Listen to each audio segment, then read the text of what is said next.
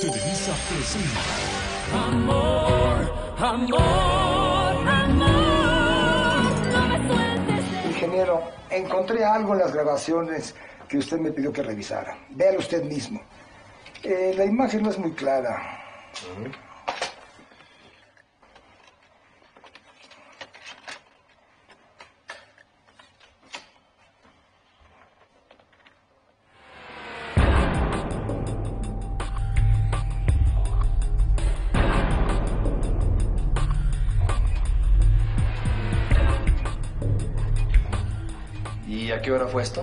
Comparando la hora marcada en el video y el reporte del vigilante que estaba en turno, fue poco después de que llegó su secretaria. ¿Y el vigilante no reportó nada extraño? No, ingeniero. En su reporte solo está registrada su llegada y la de su secretaria. Usted dígame qué hacemos. ¿Quiere que llame a la policía? No hace falta. Gracias. Puede retirarse. Con permiso, ingeniero.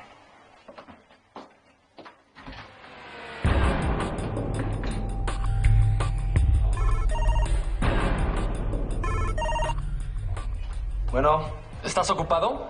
algo. Hay buenas noticias. Vente para mi oficina, aquí te platico. ¿Ahora mismo salgo para allá? Aquí te espero.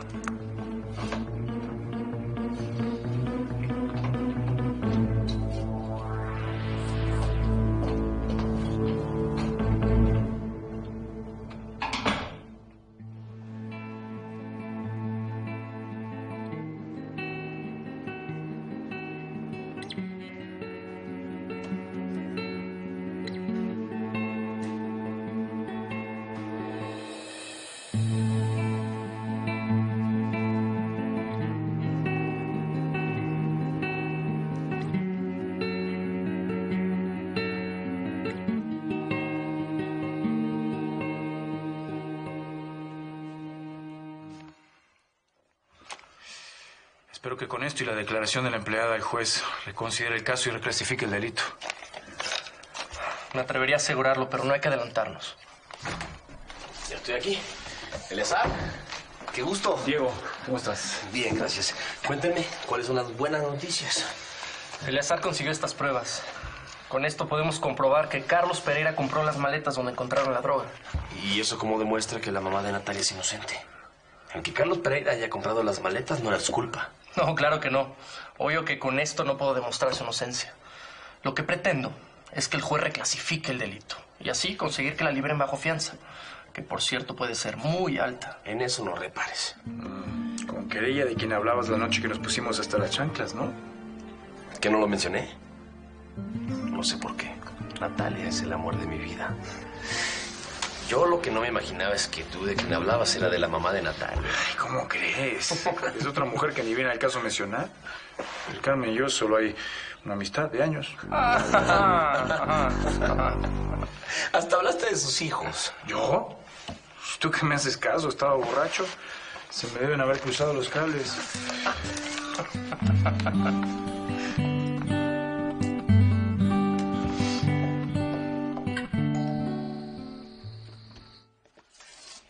Andrés, ay, qué gusto. Doña Luz. Pásale, hijo, siéntate. Gracias.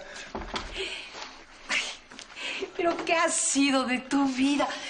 ¿Cuánto tiempo sin saber de ti? Así es, doña Luz. Más de dos años. ¿Y cómo supiste mi dirección? Me acordé que doña Eduviges era su comadre y le pregunté por usted. Ay, qué bien. ¿Te, te ofrezco algo? ¿Un no, refresquito? no, no, no, gracias, no se moleste. Bueno, pero cuéntame, ¿dónde estuviste todo este tiempo? En muchas partes. Me dieron trabajo en un barco mercante, así es que ya se imaginará. Como dicen los piratas, recorrí los siete mares. Ay, a mí que me da tanto miedo el mar.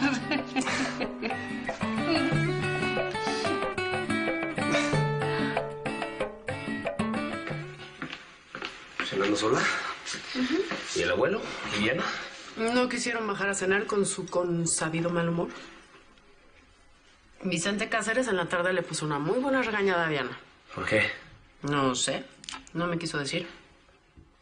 Pero la amenazó con delatarla. Delatarla. Ujú.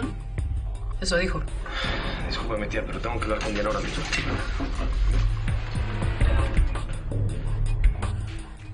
Basta de farsas, Diana. Fuiste tú, ¿verdad? Tú le sembraste la droga en el escritorio a Natalia. ¿Estás loco? ¿De dónde sacas eso? ¿Quién te dijo semejante mentira? Tengo el video de seguridad de la empresa. ¿Ah, sí? ¿Y me viste la cara como para que puedas decir ese es Diana? Se ven dos siluetas de mujer. Ah, siluetas. Y a ti se te hizo muy fácil pensar que una de esas siluetas era la de tu mujer, ¿no? No lo puedo creer, Diego.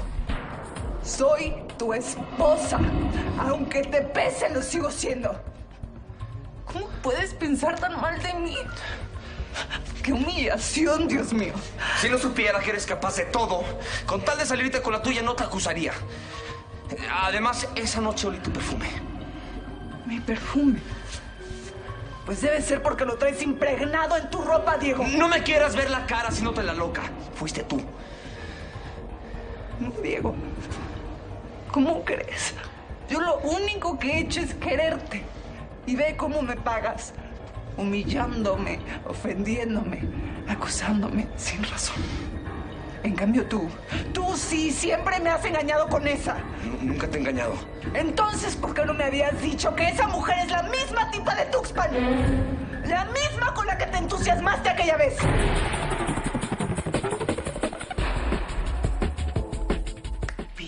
Qué piensas hacer? ¿Vas a regresar a Tuxpan? Todavía no sé. A lo mejor me quedo a probar suerte por acá. No sé qué. Tanto tiempo en el mar como que ya me cansó. Ay, me imagino. Ha de ser como andar borracho todo el día con tanto movimiento, ¿no? Más o menos, sí, más o menos. Eh, oiga, doña Luz, ¿y qué sabe de los García? En el pueblo nadie me supo decir a dónde se fueron, ni don Cipriano, que ya ve que se quedó con la fonda. Ya me imaginaba yo que no era mía quien venías a visitar. Anda, ve a tocar al 205. Ahí vas a encontrar a tus amigos y a Natalia. ¿En el 205 dijo? ¿De este mismo edificio? Sí, sí. Les va a dar mucho gusto verte. ¿Qué esperas? ¿No te quedes ahí para dónde? Pues gracias, doña Luz. Ay, me saluda a Eleazar cuando lo vea, ¿eh? Sí, Nos de vemos. tu parte. Muchacho este. ¿Desde cuándo, Diego? ¿Desde cuándo esta mujer ha estado en tu vida? Nunca la dejaste de ver, ¿verdad? Por lo menos sé sincero, Diego. Mm, No tengo por qué darte explicaciones. Sin embargo, lo voy a hacer. Jamás vi a Natalia mientras estuvimos casados. Seguimos estando casados. Porque yo no te he dado el divorcio. Y ahora menos que nunca te lo voy a dar. No es por Natalia que me quiero divorciar de ti. No quiero seguir a tu lado. ¿Por qué, Diego? ¿Qué te hice? ¿Por qué me dejaste de querer? No sé por qué me casé contigo. Realmente fue una tontería. Nunca supe quién eras en realidad. Desconocí hasta dónde eras capaz de llegar y, y es obvio que tú preparaste el montaje de la droga. Yo no he hecho nada, Diego. Te lo juro. Ya no te creo, Diana. No te creo nada. Aunque llores. Lo nuestro se acabó, Diana, y es definitivo.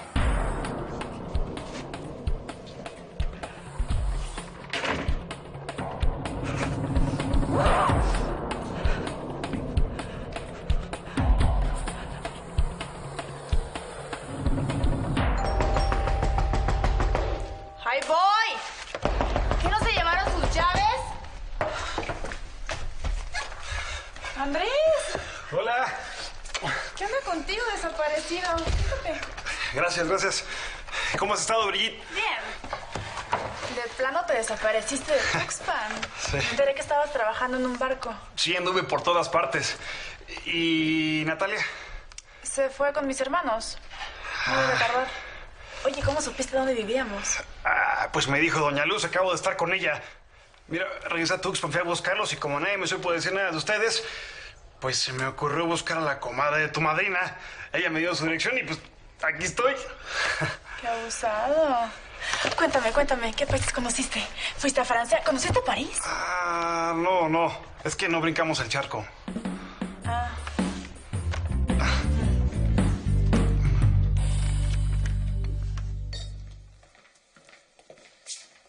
Qué bueno que te levantaste a cenar, abuelo.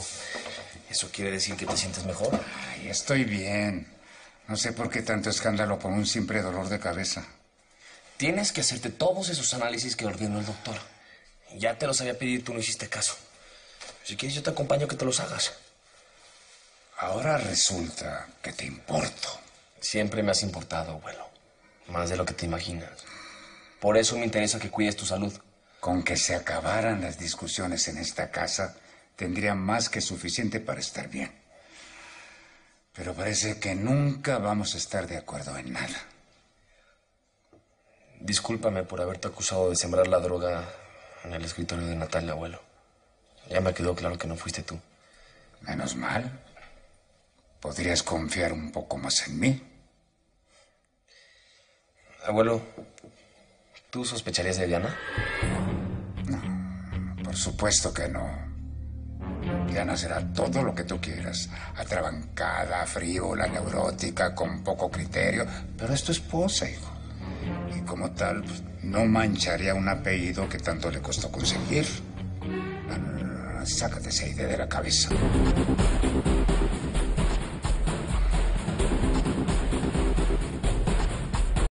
A través de tu mirada puedo ver que tu vida es una guerra sin cuartel, pero así me haces bien. Sé que escondes el amor que yo soñé. Una vez mi corazón. Tengo miedo a equivocarme, pero el fuego está quemándome la piel.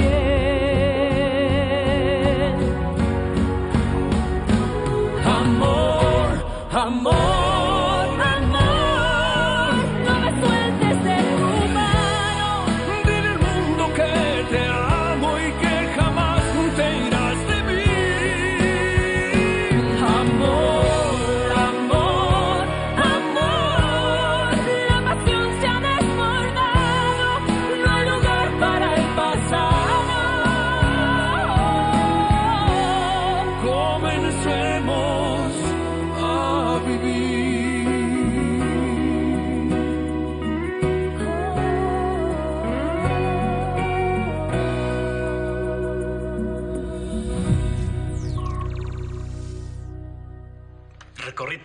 Golfo de México, desde Florida hasta Quintana Roo. Pff, Conocí unos lugares increíbles, como la Riviera Maya. No tienes idea de lo que es. Y de ahí nos fuimos bordeando todo Centroamérica. Belice, Guatemala, Honduras, Nicaragua, hasta llegar a Panamá. Cruzamos por el canal y de ahí por todo el Pacífico, desde Colombia hasta Chile. Ay, qué padre. Ay, qué. Como los marineros, ¿no? Una novia en cada puerto. No, no, aunque no lo creas, nos la pasábamos trabajando. Ay, no sos hablador. Bueno, ¿y a ustedes cómo les ha ido? Pues, te diré. Cuando llegamos a México, todo era novedad. Mi mamá, pues, puso otra fonda y ahí la llevábamos hasta que apareció Carlos Pereira. Por su culpa, mi mamá está presa en el reclusorio femenil. ¿Qué? ¿Tu mamá presa? Sí. El tipo ese la envolvió y, para no hacerte el cuento largo, pues le invitó a Miami y le dijo que ya se veían. Y él, muy desgraciado, le metió droga en las maletas. Y la detuvieron en el aeropuerto. No puede ser. ¿Y qué están haciendo? ¿No hay forma de comprobar que es inocente? Pues en eso estamos. El jefe de Natalia tiene un amigo que es abogado y le pidió que se hiciera cargo de la defensa de mi mamá. Y él está corriendo con todos los gastos porque, por supuesto, pues nosotros, ¿de dónde vamos a sacar tanto dinero? Pues qué tipo tan a todo dar el jefe de Natalia. Ujú. ¿Quién es? Se llama... ¡Andrés!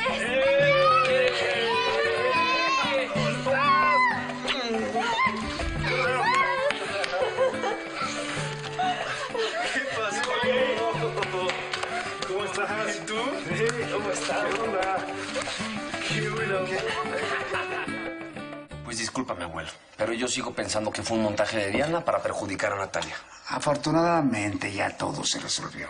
Lo mejor es dejar las cosas hasta allí. Pero el nombre de Natalia quedó en entredicho.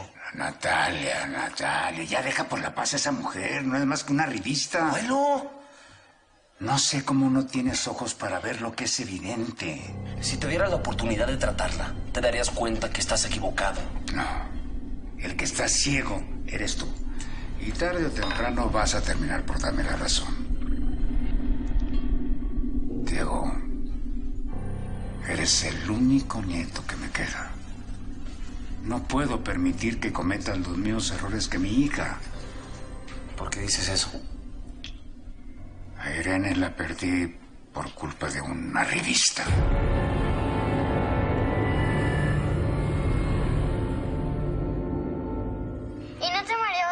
Barco? Eh, al principio sí. Después ya me fui acostumbrando. Oye, ¿y de los países que conociste, cuál fue el que más te latió? Ay, híjole, todos tienen lo suyo. Colombia está bien padre. No, deja tú todo el país. Las chavas dicen que ahí hay cada cuero que. Pues sí, hay mujeres muy guapas. Pero como las mexicanas, ninguna. sí, quedando bien. Ay, no les hagas caso, ya sabes que así son. Oye, ¿y cuánto tiempo te vas a quedar aquí en México? Aquí me pienso establecer. ¿Cómo ves? Me voy a quedar aquí a probar suerte. Qué bueno, Andrés. Ojalá que te vaya muy bien. Oye, ¿y dónde te estás quedando? Por el aeropuerto o en casa de un amigo. Muy bien. Tu tía era muy joven cuando conoció a un tipo que fue su desgracia. Un infeliz que no tenía dónde caerse muerto y que solo quería aprovecharse de su fortuna. ¿Y cómo lo sabes? Pues era cosa de verlo. Gente así solo nos usa como escalón para ascender. Quieren disfrutar sin mayor esfuerzo de lo que somos y de lo que nos ha costado tanto conseguir. Y no me equivoqué. Muy pronto sacó el cobre. ¿Por qué? ¿Qué pasó? Se largó. La dejó plantada sin importarle todo el supuesto amor que decía que le tenía. Fue entonces que ella se refugió en el alcohol. Ese desgraciado le destrozó la vida. Y no quiero eso para ti, Diego. Tu felicidad y la de mi familia es lo único que me importa. No arriesgues tu matrimonio por una aventura. Te puedo jurar que esa mujer solo va a usarte y vas a ser tú quien sufre las consecuencias y quién sabe por cuánto tiempo. Entiendo, abuelo. Pero no es mi caso. Natalia no es todo eso que dices, al contrario. Es una mujer bondadosa y honesta. Habrás tenido tus razones con mi tía Irene, pero conmigo no aplican, abuelo. Sé lo que estoy haciendo y solo te pido que me respetes. ¡Qué necio eres! Ahí vas derechito a repetir la misma historia que Irene. No, abuelo, no tiene por qué ser igual. Además de que muchas cosas de lo que dices que pasó con mi tía no me checan. ¿Estás diciendo que estoy mintiendo? No, pero yo tengo otra percepción de la historia. No recuerdo que haya sufrido tanto por el desengaño de un hombre. Más bien, has sido tú el motivo de su sufrimiento, abuelo.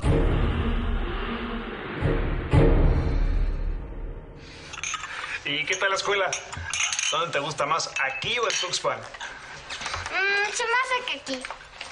Tengo muchas amigas. La escuela es más grande. Ya nos llevaron al Museo de Antropología y al Zoológico de Chapultepec. ¡Órale! ¡Qué padre! Yo ya me voy a dormir. Hasta luego, Andrés. Nos vemos. Hasta luego. El juego, Paulo. Prende la tele. Ah, sí es cierto. Andrés Vente está jugando la selección. Eh, gracias. Pero vamos a salir a caminar, ¿verdad? Sí, sí, está bien, vamos. Hasta luego. Adiós. Adiós. Bye. Oye, ¿qué se me hace que Andrés todavía quiere con Natalia? A ver si ahora sí se le hace. Si yo fuera ella, ya le hubiera dicho que sí. Es buena gente, está guapo y se ve que le gusta mucho. Hey, usted a su tarea. Está muy chiquita para andar pensando en eso. ¿Chiquita? Si la vieras en la escuela, se trae a dos que tres derrapando por ella. Oye, no seas mentiroso. Nada más son mis amigos. Ay, ajá, cómo no.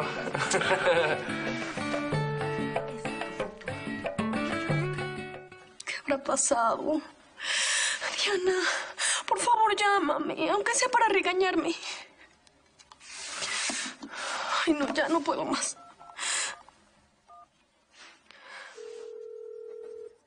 Bueno.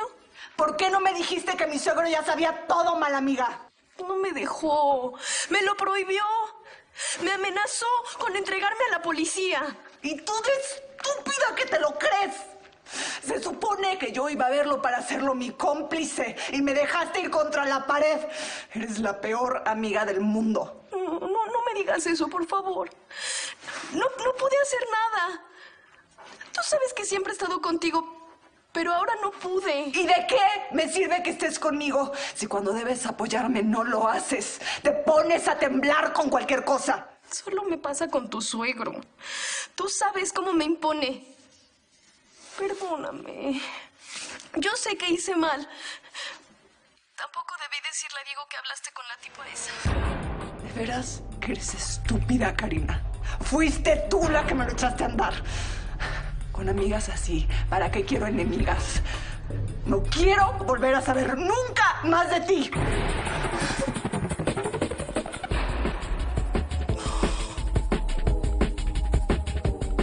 Ay, Pablo, ¿tienes un sacapuntas? Busca en mi mochila, Lupita, está en mi cuarto.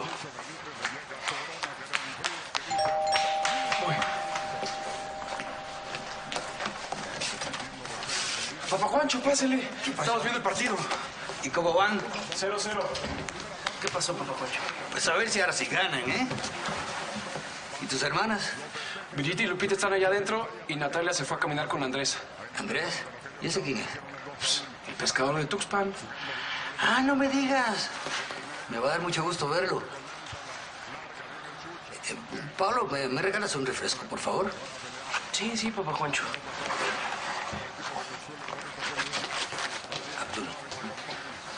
¿Y ya Natalia le dijo a Andrés que Diego está vivo? No hubo oportunidad, pero seguramente ahorita se lo va a decir. Pues se lo tiene que decir para que pueda vivir con la conciencia tranquila.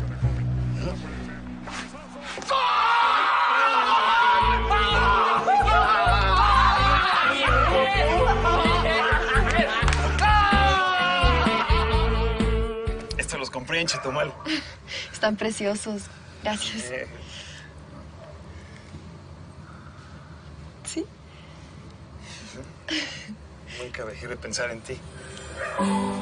Cada día, cada noche cuando estaba en alta mar, me salía a la cubierta y miraba la luna. Pensando que quizá tú la estabas mirando al mismo tiempo. Estás loco. No, no, no. No, Andrés, no, no, no. Eso no. ¿Por qué me rechazas? Porque entre nosotros nunca ha habido nada.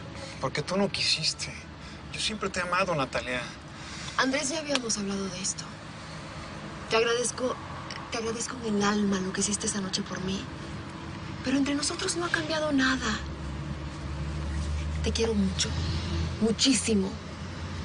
Pero como amigo solamente. Hay alguien más, ¿verdad? Y aunque no lo hubiera, eso no cambiaría en nada las cosas. De verdad que me dio mucho gusto volver a verte y saber que estás bien. Pero dejemos las cosas así, Andrés, y sigamos siendo amigos. Me dolería mucho perder tu amistad. Es que no puedo, no puedo. Aunque quisiera, no puedo. Te veo y siento unas ganas enormes de abrazarte, de, de decirte todo lo que siento, de, de, de... No, no, no. Andrés, Andrés, no sigas. Ojalá y encuentres a alguien que te quiera como tú deseas. Lamentablemente, yo no soy esa persona.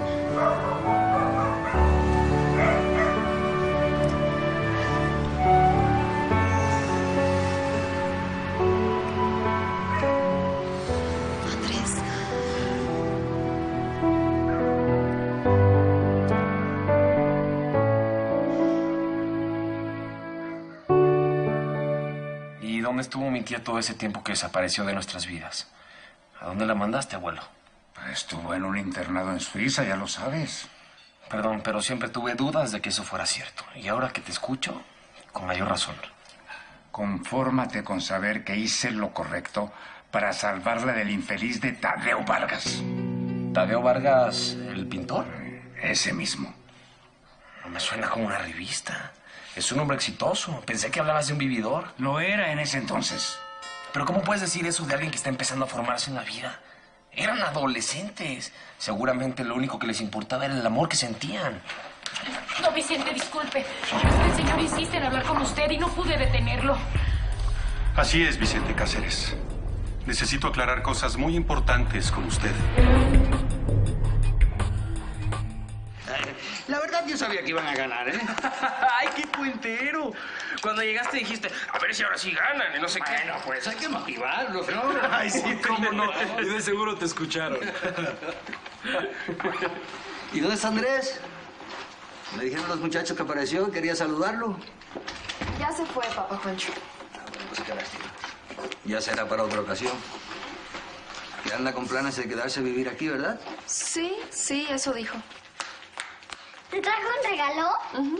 Sí, un detallito. ¿Puedo verlo? Natalia, vamos a la cocina un momento, ¿sí? ¿Para qué?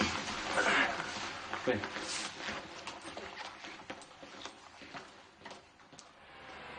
Fuera de mi casa. No tengo nada que hablar contigo. Pero yo sí. ¿Cuál de los dos eres tú, Diego o Rodrigo? Soy Diego. Mucho gusto. Irene se la pasaba hablándome de ustedes. Decía que eran tan parecidos que en ocasiones no los diferenciaba. No te quieras hacer el simpático. Este es el hombre que le destruyó la vida a tu tía.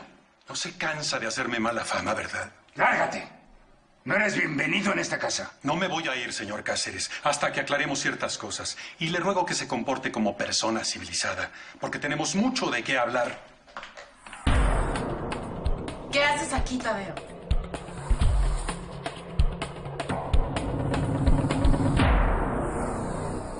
¿Discutiste con Andrés? ¿Por qué lo preguntas? Porque traes cara de pocos amigos. Lo que pasó es. es que quiso besarme. Y yo no me dejé. Me choca que insista. Cuando vivíamos en Tuxpan, yo le dije muy claro que entre nosotros solo podía haber una amistad. Pobre. Me cae bien, pero si a ti no te gusta, no hay nada que hacer. Pero le dijiste que Diego no había muerto.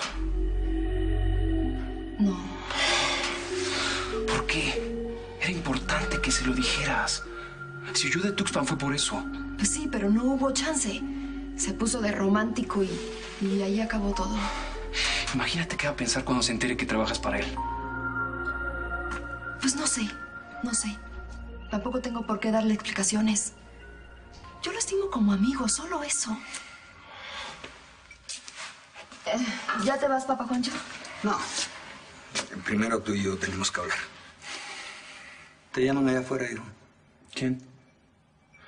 Ah, sí, sí.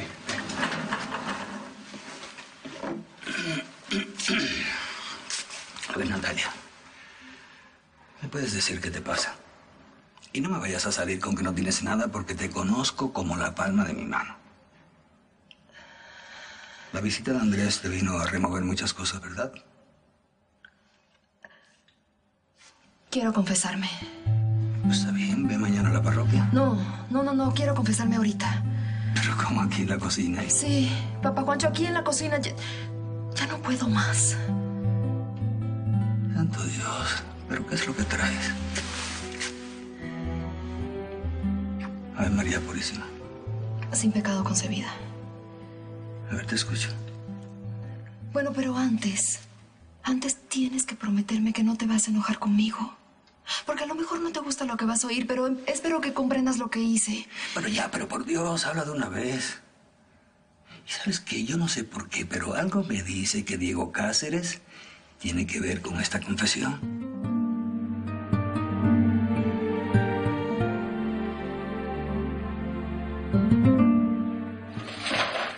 Te he dicho de mil formas que no quiero saber nada de ti. ¿Qué quieres? Acosarme ya, déjame vivir en paz, ya bastante daño me hiciste. Irene, no toda la culpa de lo que ha sufrido recae en mí. Eso es lo que vengo a aclarar. No hay nada que aclarar. ¿Y, y por qué no lo escuchan? ¿Tiene derecho a defenderse de tanta acusación? ¿A qué acusaciones te refieres, Diego? El abuelo me estaba contando cómo sucedieron las cosas entre Tadeo y tú. ¿Qué le dijiste, eh? No le dije más que la verdad. ¿Qué verdad? tu verdad, que quién sabe cuál es. Irene, por favor, hablemos tú y yo. No lo escuches. Se trata de la tranquilidad de su hija, Vicente Cáceres. Tu padre es mucho más responsable de lo que pasó entre nosotros de lo que tú crees. Si no me quieres oír a mí, pregúntale a él. Pregúntale en manos de quién estuvo que me dieran la beca para que me fuera a París. Fue tu padre quien me sacó de tu vida, Irene.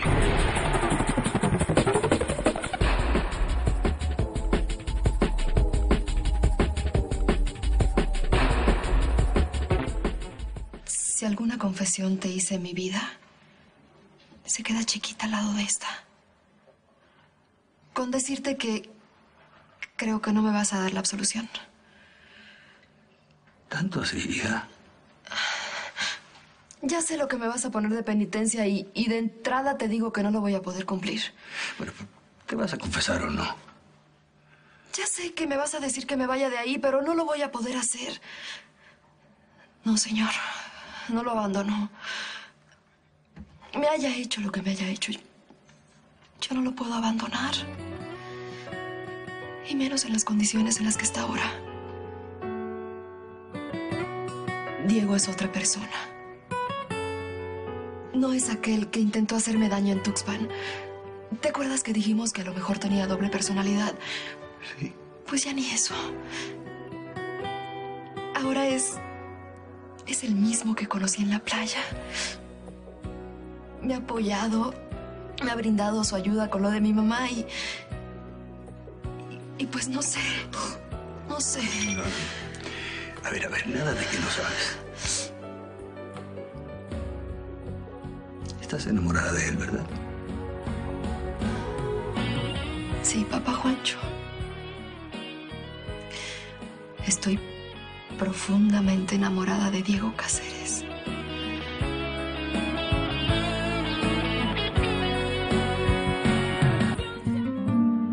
Natalia, mira. Yo entiendo que en el corazón no se manda. Pero ese hombre es casado. No permitas que eso que sientes te haga cometer una tontería. Hija mía, no lo permitas. No, no, papá Juancho, eso nunca. El amor que siento lo voy a guardar en lo más profundo de mi corazón. Por más que lo ame, no voy a interponerme en ese matrimonio.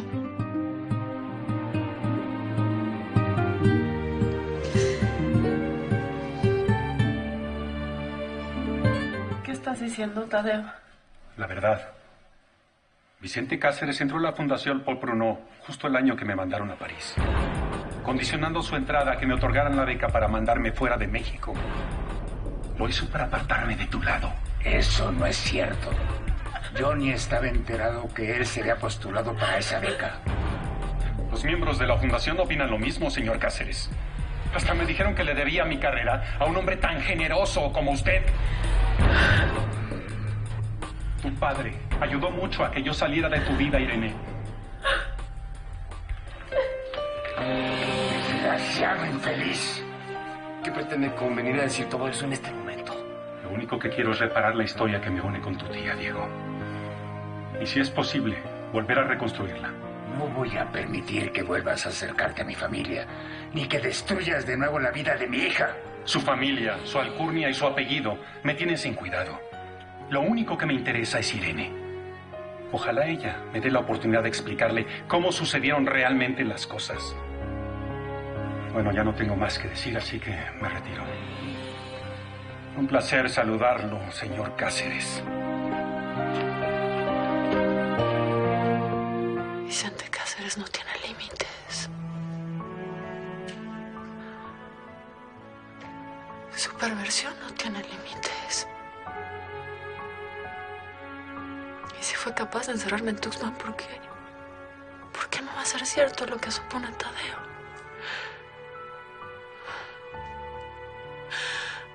Nunca me ha querido. Ni él ni nadie.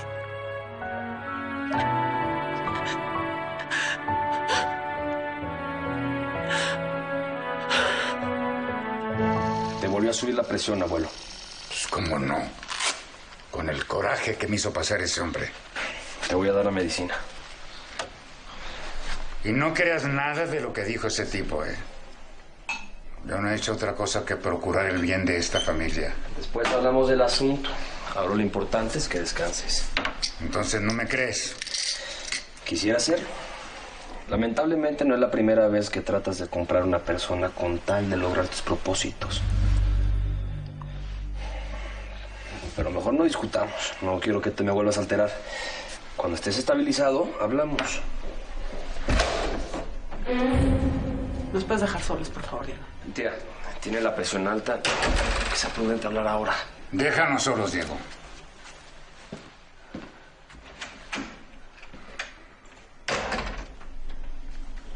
Dime si lo que te dijo Tadeo es cierto. Nada más quiero un sí o un no. ¿Le vas a creer a ese patán? Me parece el colmo que dudes de mi palabra cuando sabes de lo que es capaz ese tipo. Bueno, pues tampoco tengo muchos motivos para confiar en tu palabra. ¿Tuviste que ver que le dieran esa beca, sí o no? Pues no sé.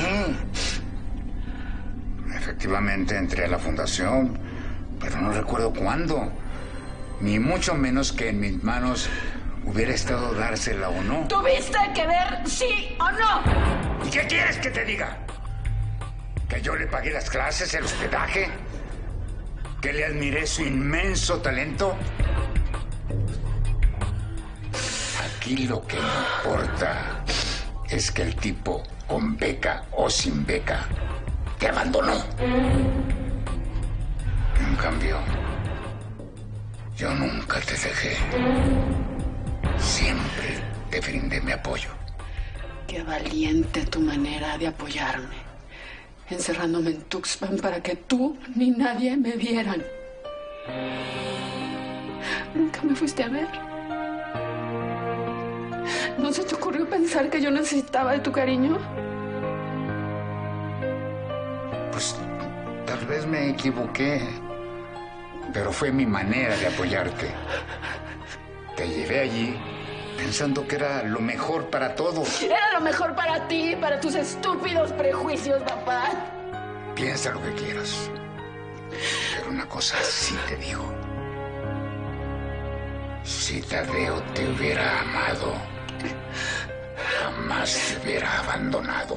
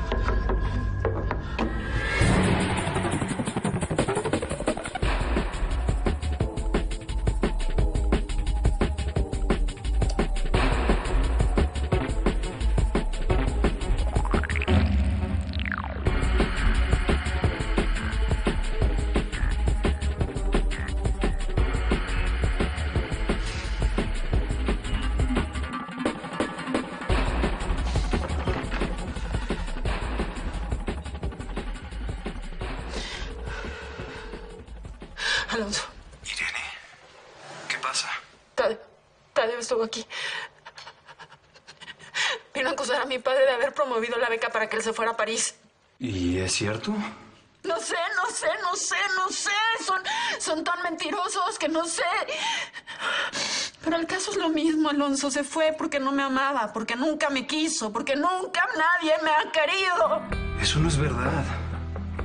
Yo te quiero. Alonso, Alonso, gracias, pero yo no estoy hablando de ese cariño. Yo estoy.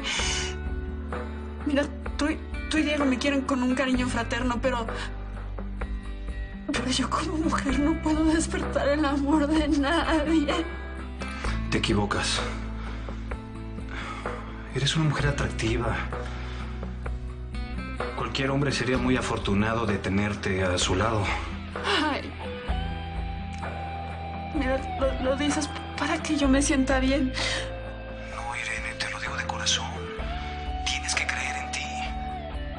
Alonso, tengo, tengo una botella delante de mí y estoy a punto de... No lo hagas.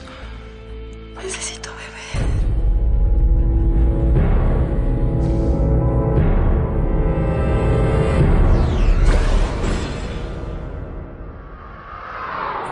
Lo logramos, Diego. El juez reclasificó el delito. Carmen García puede salir libre bajo fianza. ¡Qué buena noticia! Sabía que lo ibas a lograr. Ay, te adoro, te adoro, te adoro, te adoro. Ay, gracias. Gracias. ¿Qué pasa? ¿Por qué gritan así? Diana está muerta. Diana, Diana, Diana, Diana, Diana. Diana.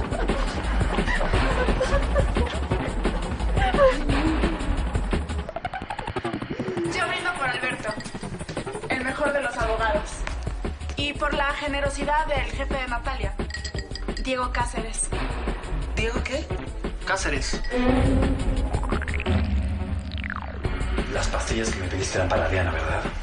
Ella me las pidió, pero yo no sabía para qué las quería, Alonso, te lo juro. ¿Y no te pasó ni tantito por aquí que se les iba a tomar para quitarse la vida? ¿Eres tonta o qué, Karina? Entonces, sí te importo. ¿Verdad que te importas, Diana, por supuesto. O no estaría aquí.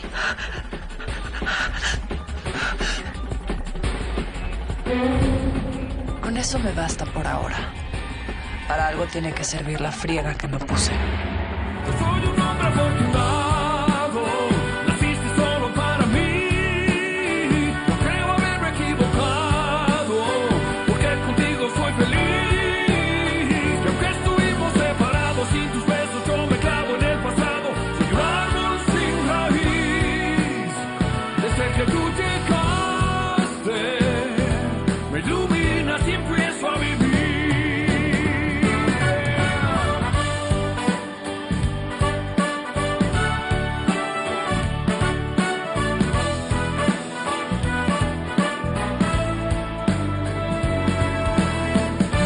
la magia que yo había soñado.